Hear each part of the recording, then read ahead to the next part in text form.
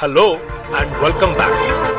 Now that we have seen all the tools of engineering drawing, it's time to understand the drawing techniques. Let's start with drawing scales.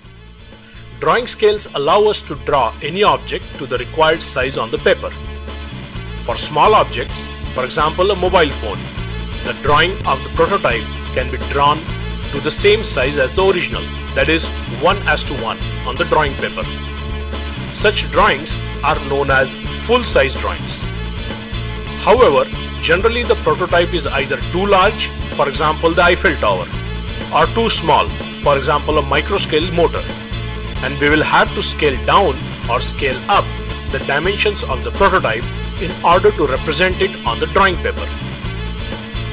The representative factor RF is the ratio of drawing dimension to the actual dimension of the object. If RF is greater than 1, then the drawing is enlarged. And if it is less than 1, then the drawing is a reduced view of the same object. So, we are all set to move on for preparing our drawing paper. We have to put together layout on a paper including margin, border and other entities. The engineering drawings may also contain used for dimensioning, writing instructions, notes, titles, labels, etc.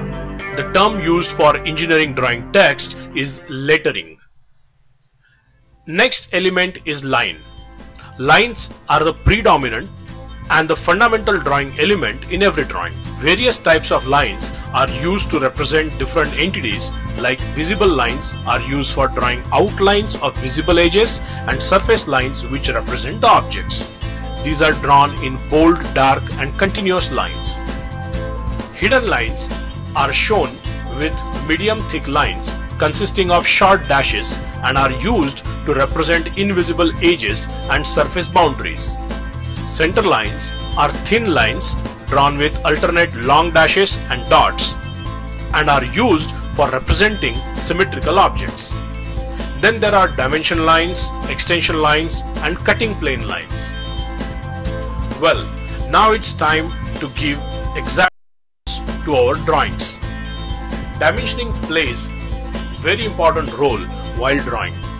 There are many types of dimensioning such as horizontal dimensioning, vertical dimensioning, aligned dimensioning, chain or continuous dimensioning, parallel dimensioning, diameter dimensioning for circles, radius dimensioning for arcs, angular dimensioning for angles.